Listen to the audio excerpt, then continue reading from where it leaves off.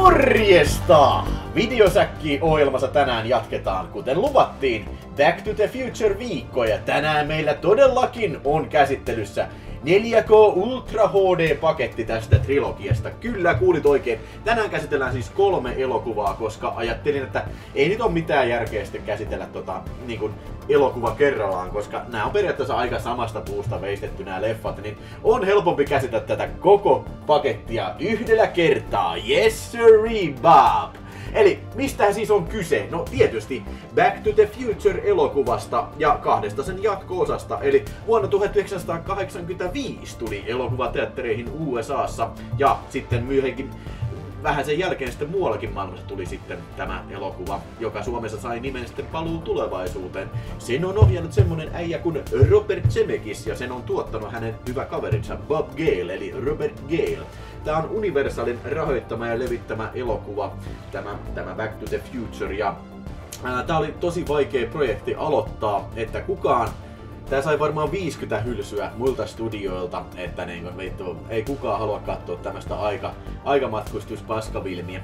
No, Universal sitten, sitten lähti kelkkaan mukaan oikeastaan sen takia, koska Robert Zemeckiksen tää edellinen filmi Vihreän timantin metsästys, Romancing the Stone, niin se oli hirveä hitti ja myös mukana oli executive producerina sitten Steven Spielberg, niin sitten, vasta sitten Universal näytti vihre, vihreää valoa sitten tälle projektille. No, elokuva kertoo tästä tämmöisestä Marty McFlysta, jolla on kaveri nimeltä Doug Brown. Ja Doug Brown on keksinyt aikakoneen, kyllä. Ja sitten kun Doug Brown demonstroi tätä aikakonetta, niin, tuota noin, niin Marty McFly muutaman käänteen takia sitten joutuu ajassa taaksepäin. Suotta mä varmaan tätä juonta selitän, koska kaikki varmaan tän on nähnyt, mutta mulla on tässä 4K Ultra HD-paketti. Tästähän tulitte katsomaan tätä arvostelua, eikä mun horinaa vilimeistä, vaan nyt puhutaan itse asiaa, motherfuckers. Eli tässä on seitsemän levyn paketti. Tämä on Universalin Universal Picturesin Suomessa julkaisema paketti. Hyvin bare bones kotelo on tässä. Ja meillä on tässä Ultra HD ensimmäistä elokuvasta, Blu-ray ensimmäistä elokuvasta, Ultra HD kakkosesta, Blu-ray kakkosesta, Ultra HD kolmosesta ja toi tota, Blu-ray sitten kolmosesta kanssa. Ja sitten meillä on vielä ekstrana bonus disc. Ää, ero aikaisempaan, mikä mulla tässä on. Tästä on varmaan tullut uudempi laitos 2015 vuonna, se on 30-vuotis juhlajulkaisu, mutta tää oli se mun mielestä ensimmäinen Blu-ray-boksi, mikä tästä on julkaistu. Ja tässä on vaan kolme diskiä, mutta huikeasti hienompi paketointi on tässä versiossa. Ja hei, jos teitä kiinnostaa, niin mä annan giveawayna tän lauantai livessä sitten pois, että oikein vastanneiden kes- kyse- kesken mulla on edes kysymys siinä, että kannattaa lauantaina tulla tosiaan Back to the Future liveen. Siellä siellä tämän lisäksi, giveawayn lisäksi puhutaan sitten enemmän näistä elokuvista poistetuista kohtauksista ja ää, mahdollisesta remakeista näistä ja tietenkin pelataan Back to the Future-pelejä. Joo. Mutta 4K Ultra HD, HDR ja Dolby Vision on joka, joka Sons of Pictures elokuvassa. Ja myös Dolby Atmos ääni on joka Ultra HD elokuvassa. Ja sen verta katsoin näitä Blu-ray-versioita, että Nämä on uudemmat masteroinnit. Nämä ei, ei siis samat levyt, mitä tässä oli, koska nämä on digitaaliselta uudelta 4K-masterilta nämä vedetty nämä 4K Ultra HD-levyt. Ja samassa on sitten ilmeisesti veistetty myös Blu-ray-versiot, mikä on helvetin hieno asia. Kyllä, kuvan laatu, siitä nyt tietenkin se nyt teitä ensimmäisenä kiinnostaa. No, siis tietenkin lienee sanomattakin selvää, että todellakin, niin aina kun on 4K Ultra HD ja varsinkin ison studion filmi, niin ää, ei sitä tarvi erikseen sanoa, ettäkö tää, etteikö tämä olisi niinku paras versio, parhaalta näyttävä versio, mitä on ikinä julkaistu. Se todellakin on pitää paikkaansa tässä. Mutta kysymys kuuluu, onko tämä sen arvoinen, että kannattaako tämä vanha Blu-ray-versio sitten päivittää? No, Mä vas, vastaan kohta siihen, mutta sitten kun selitetään ensin, että okei, okay, Back to the Future, se on Dean Cundin kuvaama, eli sama äijä, mitä on kuvannut muun muassa John Carpenterilla monta leffaa.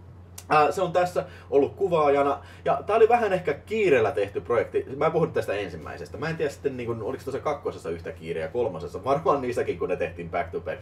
Mutta Dean Candy on ollut kuvaamassa, ja oikein huolellista jälkeen on tehty tässä, ja siis niin kun, tässä on selvä kontrasti siihen, kun mennään 80-luvulta tänne 50-luvulle. Se 50-luvulla on sellainen lämpimät värit. Ja tästä tulee HDR, tulee todellakin oikeuksia. Se on tehty, niin kuin se kuva on käsitetty sillä lailla, että se oikein näyttää oikein lämpöiseltä se 50-luvu. 80 ei, 80-luku ei niinkään. Kuva on äärimmäisen tarkka, varsinkin näissä laaji, laajoissa kuvissa. Ja myöskin hämärät kuvaukset, kuvat saa kyllä niin ekstra, ekstra tota noin, niin, yksityiskohtaa tässä. Että niin kuin, Uh, no siis ei, ei tässä niin kuin mun mielestä ole ikinä ollut mitään vikaa tässä vanhoissa Blu-ray-mastereissa, mutta siis come on, tää on Full HD ja tää on Ultra HD, että niin kuin siinä on jo heti, heti on, tota noin, niin on kyllä ero saakelisti. Eli kuva on äärimmäisen värikäs, mutta niin kuin, siis, jos mä vertaan vaikka Apocalypse Now, niin tämä ei ole ehkä niin mi- visuaalisesti mielenkiintoinen elokuva kuin Apocalypse Now. Tässä ollaan pääasiassa niin kuin urbaanissa ympäristössä. Ja no, on tässä tämmöisiä 50-luvun pastellivärejä on paljon ja Marty McFlyn tää tämmönen life, life jacket paita, mitä sillä on, tai tää äh, toppa, toppa liivi, mikä sillä on, niin se kyllä erottuu erokseen, edukseen kyllä niin kuin muusta kuvasta tämä, tämä, tämä tässä ja niin poispäin, mutta niin kuin, äh, yksi erikoinen juttu tässä ykkösessä oli, mä en, se oli ainoa niin tämmönen tekninen virhe, mitä mä huomasin. Ja itse asiassa mä en olisi varmaan kiinnittänyt siihen huomioon, mutta mä vähän tutkin tätä, mä luin arvosteluja internetsistä tässä. Ja se joku arvostelija huomautti siitä, että siinä kohtauksessa, missä Lorraine ja Marty McFly on siellä autossa, niin siinä on kuvassa jotain häiriöä. No mä katsoin nyt sen, sen kohtauksen, ja kyllä on. Se menee ihme semmoista niinku raen lumisadetta näyttää menevän, niin kuin se on vähän ta- värikkäämmissä tasaisissa pinnoissa. Ja se itse asiassa häiriö jatkuu siihen myös sinne dancehall-kohtaukseen. Siellä menee semmoista niin kuin, mä en tiedä mistähän vittusta se on tullut. Todennäköisesti tämä on filmiprinttivaurio tai joku semmoinen, mutta uh, Blu-ray-versiossa tämmöistä en oo aikaisemmin nähnyt. Ja siinä kun katsottiin Japen kanssa se televisioesitys, niin en oo siinäkään kyllä ikinä nähnyt. En siinäkään huomannut sitä, sitä häiriöä, mutta kyllä tässä, tässä versiossa sen näkee. No, mutta jos siihen kiinnittää huomioon, niin silloin sen vasta näkee, mutta jos et sä niin kuin, öö, oo kuullut semmosesta, niin ei, se, se varmaan menee ohi. Tää häiriö ehkä kestää pari-kolme minuuttia. Se on... Mut, niin kuin esimerkiksi siinä, kun se toi soittaa Johnny B. Goodin, niin siinä ei ole en, enää ei näy, vaikka siis kuva, kuvausolosuhteet on ihan samanlaiset, mutta siinä ei enää näy sitä virhettä. Että niin, beats the fuck out of me, miksi täällä on semmonen, semmonen häiriö kyllä. Joo, sitten tietysti Back to the Future 2 on ehkä synkempi elokuva. Eli siinä tosiaan niin kuin HDR jälleen kerran tuo, tuo niin kuin oikeuksiin nämä hämärät kohtaukset. Ja tota no, niin, uh, no, siis tähän menee about samat, samat kehut menee tähän, että niin kuin, siis kuvallisesti ne on about samankaltaisia filmejä. Ja tästä mä en muista, että olisi ollut mitään siitä kakkososasta, että olisi ollut mitään, mitään erikoista niin kuin, moitteen sijaa tästä kuvasta. Että, niin kuin, no, semmoinen yleinen asia, mikä ehkä kaikissa on vähän semmoinen, se ei ole taas niin kuin 4K Ultra HD vika, vaan Siis se on se vika, että siis ILM nämä jotkut erikoistehostekohtaukset ei ehkä välttämättä kestä nykyaikaista Ultra HD-standardia kyllä niin hyvin, koska niin kun, sä selvästi huomaat ne efektin niin kun, tekniset puutteet siinä. Niin kun, asia, mitä ei ole välttämättä huomannut Blu-raylta tai DVDltä tai televisioesityksestä tai edes teatteriesityksestä, mutta tässä kun on nyt sulla täydellä resoluutiolla katsottavissa on sitten ultra täydellisellä resoluutiolla katsottavissa sitten tämä elokuva, niin se, se saattaa pistää silmään kyllä nämä efektit sitten. Mutta sitten Back to the Future 3, mikä on näistä kaikkein värikkäin. Siinähän ollaan lännen elokuva maisemissa ja siinä on isoja tämmöisiä John Ford ja Sergio Leon tyylisiä kuvia. Ja ne näyttää aivan sikahyvältä. Siinä on se kuva, se kun tota noin, niin kamera nousee sieltä juna-aseman takaisin. Sehän on tietysti homage Sergio Leonen mestariteokselle Once Upon Time in Westille kyllä. Niin siinä on kyllä ihan selkeästi on paljon enemmän yksityiskohtia ja se on niin kuin, monesti on sellainen, oh, haukko oikein henkeä, että wow, että niinku, vittu, tää on, niinku, tää on niinku elokuvataidetta parhaimmillaan. Että niinku, siis, jos sulla on oikeanlaiset laitteet, siis kunnollinen äh, televisio, mikä pystyy kunnolliseen 4K-toistamiseen, HDR-toistoon, niin kyllä mä vakavasti suosittelen. Ja siis jos se on sun mielipide, että sä haluat nähdä parhaimmalla mahdollisella versiolla merkittävät elokuvat, niin kyllä mä suosittelen, että tää ehkä kannattaa kuvanlaadun puolesta kyllä korvata tällä 4K-versiolla. Ja jos puhutaan niin audiopuolesta, sitten tietysti puhutaan, mainitaan myös se, että niin kaikissa on Dolby Atmos ääni, ja siis niin ihan top of the, top, top of the line. Pff. Mä en nyt, en nyt sillä tietenkään verrannut, että niin olisin kuunnellut Blu-raylta tätä DTS-ääntä, mikä on vanhalla Blu-raylla ollut. Mutta niin kuin siis ainakin tämä Dolby Atmos, ja siis huomautan tässä vaiheessa myös se, että siis mullahan ei ole Dolby Atmos-laitteita, mulla on vain 7.1 kaiutin sarja tässä, että mä en nyt kuullut, tieksää, ylä- ja ala-ääniä, mutta ymmärtääkseni sinne on pistetty kaiken näköistä ylä, ylhe, ylä, ylhe ja alhe, kyllä, että niinku sitä, sitäkin ääniskaalaa pitäisi löytyä. Mutta jos nyt ihan siis perusasioista puhutaan, niin kyllä se dialogi kuuluu täsmälleen ihan vitun selkeästi kuuluu etukaiuttimista ja sitten myös niinku, siis silloin kun tarvitaan niinku tosiaan niinku teho ääniin, ykkösosassa, kun Salma iskee siihen torniin, kyllä jyrisee ja maalauta naapurit varmasti kuulee, kun meikäläinen kattelee Back to the Future tai yleensä noita muita elokuvia iltaisia.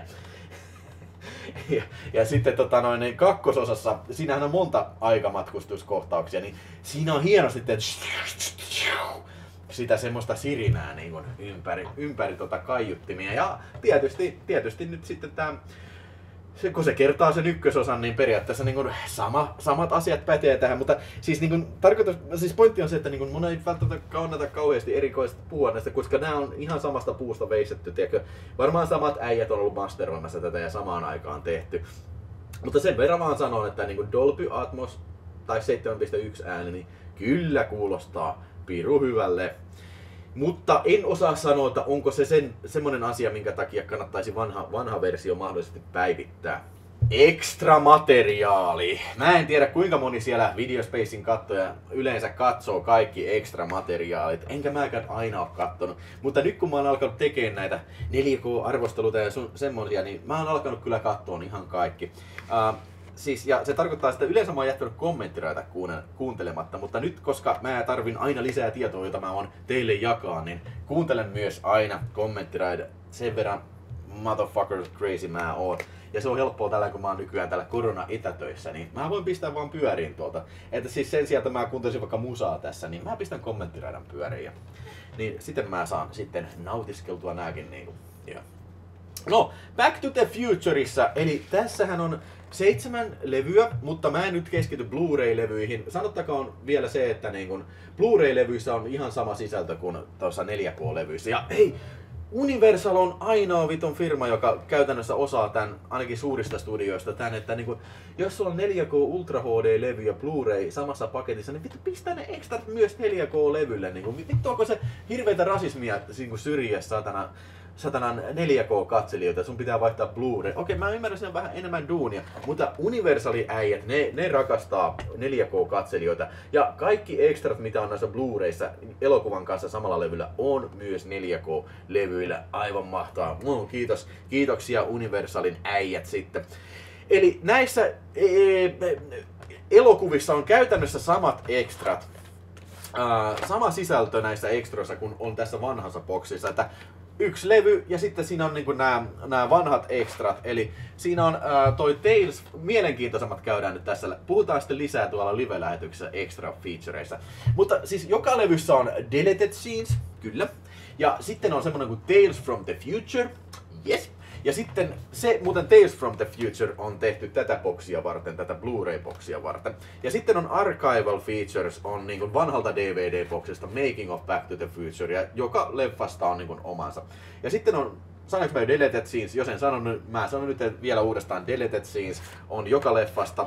Ja sitten on tätä tyy- tyypillistä tapaa niin kuin markkinointimateriaalia ja, ja tota noin, niin, e, musiikkivideoja ja sen semmoista. Ja sitten on esimerkiksi kakkosessa on se joku tiedemies äijä puhumassa aikamatkustelun tulevaisuudesta. Tällä. Mutta näissä siis niin kuin itse leffojen extra-levyillä ei ole mitään uutta, jos oot tän nähnyt. Kommenttiraitoja on, joka filmissä on kaksi. On tota semmonen Guuja A-sessio, jossa tal- taltioitu Robert Zemeckis ja Robert Galein tota, kommenttiraita. Ja se on jotenkin erikoinen kommenttiraita siitä, että se ei ole läheskään niin filmin pituinen se kommenttiraita. Että se on about jokin, jokaisessa filmissä about jokin puoleen väliin. Mutta ihan mielenkiintoisia pointteja siinä on. Ja sitten on toisena kommenttiraidalla on pelkästään Bob Gale on tota, kommentoimassa sitten, elokuvan tuottaja siis kommentoimassa sitten koko, koko filmin pituudelta, että mitähän vittua se oikein tapahtui se on vähän huono, kun sulla on näin, näin iso paketti ja siis niin kuin tehty niin kuin varmaan kolmella vuosikymmenellä näitä ekstroja, että niin, niin, tota, niin siihen tulee paljon samoja asioita. Se vähän harmittaa, mutta niin kuin, hei, minkäs teet, että niin kuin, onhan se parempi että kaikki on mukana sitten, ettei tule siltä, voi vittu mä joudun pitää tämän saatana vanhan, koska tässä on tää ja tää, tää making of ja tässä uudella ei ole sitä, että hyvä, että ne on pidetty kaikki. Ja siis niinku, tosi hyviä dokumentteja, ainakin tää, justiin tää Tales from the Future on, on tosiaan, ja miksei making offikin kyllä, että niinku, siinä tulee hyvin selville, että mistä on lähdetty ja mistä tota, miksi näin ja miksi näin ja näin, että puhutaan näistäkin sitten tosiaan live-lähetyksessä sitten vielä vähän tarkemmin. Mutta se, mikä varmaankin sinua kiinnostaa nyt ihan kaikista eniten on tämä bonusdiskin sisältö. Eli tämä bonusdisk sisältää kokonaan uusia ekstroja. Eli tässä vanhassa DVD Blu-ray-boksissa oli samat ekstrat, mutta siinä puuttuu, siinä ne on kaikki kolmella levyllä vaan, ei ole niin neljättä levyä. Tai no siis tässä tapauksessa tämä on seitsemäs levy, mutta anyway. Tässä on siis, juu, kaikki, nämä on niinku uusia ekstroja. Katsotaan nämä nyt ihan, ihan kohtaus kohtauksesta. Mulla on tässä, mä, jos mä katson tuonne sivuun, niin mulla on tässä vähän niinku lunttilappu tuossa. Että, ää, ensimmäisen on tämmönen internet YouTube-filmi, Could You Survive the Movies? Tai joku YouTube tekijän, joku kanava, mä en muista mikä se on, niin kuin, vähän semmoinen hassutteluvideo, että jos sä joutuisit tänne ja tällään aika turhan päiväinen video, että ei, ei, ei edes tehnyt mieli niin kuin mennä katsomaan sinne kanavalle, että mitäs muuta videoita siinä on, että niin kuin tämmöinen päskaa Sitten on The Hollywood Museum Goes Back to the Future, eli siis semmoinen do- lyhyt 10 minuutin dokumentti, että siellä on oikeasti Hollywoodissa jossain on semmoinen Back to the Futurelle omistettu museo kokonaan, että siellähän näkyy kaikkea propsia tällä, että se on ihan hieno, koska todennäköisesti en ikinä nyt ole menossa käymään sinne, niin näkee sen tästä videolta sitten, mutta joku tämmönen vähän niin kuin toisen luokan dokumentti sitten. Sitten on Back to the Future, The Musical Behind the Scenes. Eli tästä on tehty musikaali, mitä, 2018 vuonna tai jotain semmoista, ns. Voit.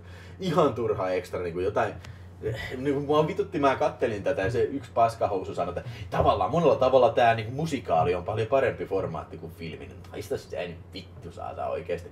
Oikeesti niin kuin, että No jos tykkää musiikista ja musiikkiesityksistä, niin ihan varmasti se on parempi kuin filmi, mutta niin kuin, eiköhän, eiköhän tämä elokuva nyt kuitenkin ole parempi kuin tommonen niin musikaali. Ei siinä mitään, siis mielenki, mielellään menisin kyllä katsomaan Back to the Future musikaalia, mutta tuskin varmaan Suomessa on mahdollista ainakaan näillä korona-aikoina kyllä niin kuin päästä. Ei näillä näkymin varmaan Suomen ole tulossa kyllä.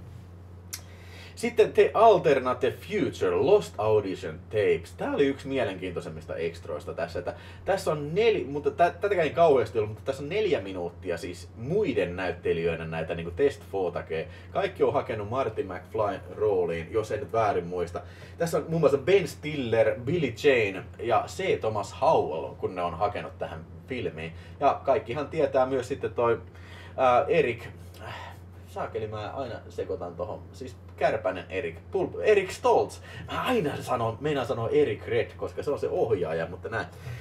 Erik Stoltzhan oli sitten tota, tota, oli pari viikkoa oli tekemässä kuvauksia tähän elokuvaan ja sai, sai sitten kenkää, koska Robert Zemeckis päätti, että hän ei sovi tähän. Ja mä haluaisin kyllä nähdä sitä matskua, että on tosi pettynyt, että sitä ei ole sisällytetty näitä matskuja tähän, tähän extra. Mä en tiedä mikä siinä on, että onko se joku niin kuin sopimustekninen juttu tai joku semmoinen, että ei viitti pistää, että niin kuin, jos se tulee paha mieli tällä. Mutta niin kuin, miksi sille tulisi paha mieli? Niin kuin siis, niin kuin, hei, niin kuin se olisi niin kuin oikeasti visuaalinen todiste, että hei, tällainen oli mun rooli, arvioikaa siitä, että mikä tämä olisi ollut, mutta niin kuin, en mä tiedä. Mutta semmoisia tästä on turha etsiä. Sitten oli 2015 Message from Doug Brown, eli tää oli joku tämmönen lyhyt elokuva, missä tota Doug Brown saa viestiä, että joo, maailma on tuhoutunut ydinsodassa, kun joku äh, kännykkälaitteet on ottanut vallan jotain tämmöistä. Ei ihan tämmönen pelle juttu, siis lyhyt elokuva, hassutteluksi tehty. Mitähän se kesti just, mä en mä tiedä, varmaan alle 10 minuuttia, mutta joo. Ihan hauskaa, kiitos tästä joo. All the Time Restoring the DeLorean, eli tämmönen dokumentti sitten, kun tässä restauroitiin tätä DeLoreania. Oikein, se oli jossain ollut Universalin backlotilla siellä parkkipaikalla ruostumassa ja kaikki tyypit oli käynyt pölliin sitä osia tällä. Mutta sitten se haluttiin tätä juhlajulkaisua varten sitten restauroida oikein kunnolla. Sitten täällä on tämmöisiä autotuuna ja äijä, mikä oikeasti niin kuin, nähnyt paljon vaivaa. Ihan hauska dokumentti, että niin kuin, öö, että niin kuin, kyllä siellä ihmiset osaa, osaa niin kuin paljon tuunata. Se on kadehdittava taito kyllä.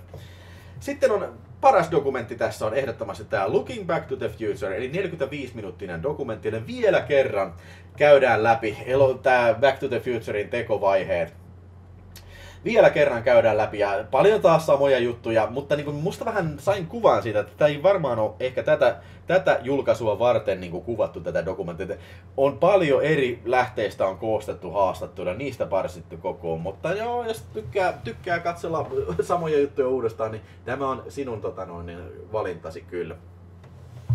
Sitten on pari jaksoa tota Back to the Future Animated Seriesistä. Nämä oli semmosia, mitä mä en katsonut. Mua ei oikeasti kiinnosta niin kuin joku Back to the Future Animated Series. Sen verran mä katsoin vähän alusta, että joo, tämä on tämmönen lauantai-aamun cartoon-sarja kyllä, että joo. Sitten oli vielä ekstrana, että Jaws 19 trailer oli omana ihan hauska ja hoverboard commercial, eli niitä mikä on vilahtaa siellä ruuduissa kakkosessa, ne on tässä sitten ekstrana, ne oli löytänyt se. Uh, joo, juu, ihan kiva, mutta semmonen verdict mulla on kyllä sanottava, että ekstrojen suhteen mä en kyllä päivittäisi tota Blu-ray, Blu-ray-levyä, että niin kun, siinä on kaikki oleellinen kyllä, että jos et sä näe tämän boksin ekstroja, niin mä kyllä väittäisin, että et sä ihan kauheasti menetä kyllä ihan oikeasti, valitettavasti. Mutta toisaalta tää on niin kaluttu aihe, että se on ihan ymmärrettävää, että ei se nyt enempää määränsä enempää löydy vaan niin matskuja että mitä järkeä on tehdä aina samat haastattelut uudestaan. Että eiköhän tää ole tässä, niin kuin, että Back to the Future on aihe, on, niin kuin, se on valmis nyt. Tässä se on, Back to the Future on todennäköisesti tämä, nyt tää Ville ennustaa tulevaisuuteen ja sanoo, että todennäköisesti tämä on viimeinen versio, mitä tästä Vilimistä joutuu ikinä tota noin, ostamaan, mutta saatan olla väärässä. Mainittakoon vielä, että siis missään ekstroissa ei ole suomenkielistä tekstitystä, mikä on mun mielestä fucking sucks, koska niin on, mikä tekosyy niin on? Okei, mä ymmärrän, että vähän maksaa, mutta hei, come on, näin ison profiilin julkaisu, niin kyllä te nyt voisitte eh, pistää subtitles. Ei ole näissäkään aikaisemmissakaan julkaisuissa subtitles, joten Joo, mutta mä katselin nämä englann, englanninkieliset sub, subtitlet löytyy kyllä ja se auttaa, jos nyt on sillä että joutuu vaikka hiljaisella katteleen niin, ja ymmärtää englantia, niin se auttaa paljon. Mutta oikeasti on, on ihmisiä, jotka ei välttämättä niin hyvin osaa englantia, niin siis se jättää aika paljon pois. Vähän niin kuin semmoisen osto, osto niin kuin yhden key selling pointin jättää pois, että niin okei, okay, en mä tästä ekstrasta mitään, että ei sen niin iso satsaus pitäisi olla.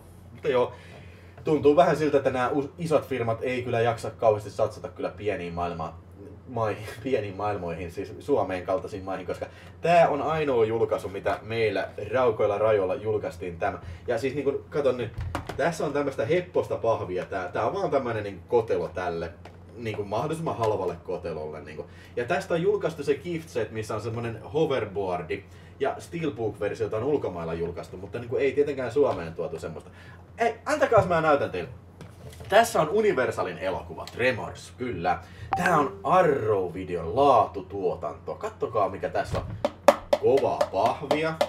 Sitten täällä on tämmönen juman kautta juu. Täällä on tämmönen vihkonen. Paljon tietoa. Sitten täällä on jämerä 4K Ultra HD boksi.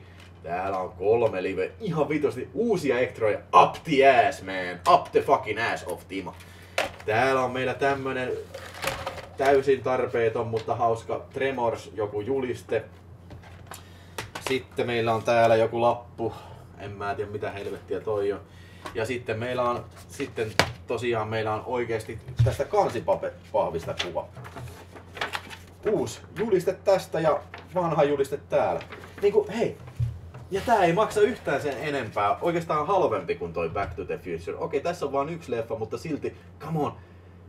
Tää on mun pointti, että niinku, hei, ei se nyt, siis niinku, jos, jos niin kuin isoilla firmoilla, studioilla ei ole niin kuin mielenkiintoa panostaa julkaisuihin, niin antakaa ne sitten tämmöisille marginaalijulkaisuille tai boutique Blu-ray julkaisuille, koska nämä osaa tehdä tosi hyvää jälkeä. Ja varmasti nämä, siis tyypit, jotka näitä ostaa, ne on keräilijöitä. Ne on varmasti helvetisti paljon tyytyväisempiä tähän, tähän kuin sitten tommoseen niin kuin, vähän half-assed paketointiin kyllä, koska No siis saattaa siellä olla varmasti paljon, en mä tiedä, pistä kommentti, mikä sun mielipide on tästä. Haluatte sitten paketoinnilta jotain spesiaalia, koska mun mielestä tää nyt ei ole kauhean spesiaali tää. Mutta siis pitäisi olla tämmönen spesiaaliversio, missä on kunnon paketti, ja sitten olisi tämmönen budjettiversio niille, jotka ei välttämättä tarvi paketointia. Olisi vaan pelkästään tää. Niin.